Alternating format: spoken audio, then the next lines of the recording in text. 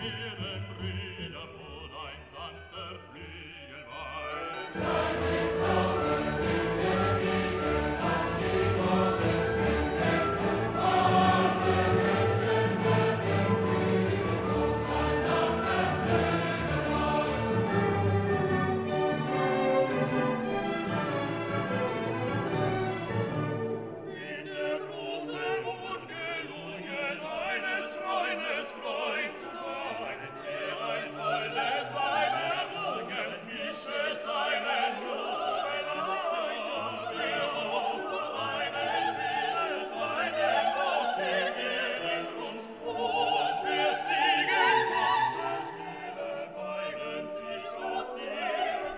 Amen.